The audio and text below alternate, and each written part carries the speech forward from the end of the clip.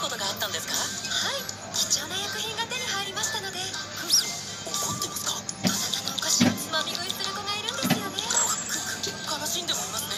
村山が最近荒れていて。ここで対象こそこそ噂話。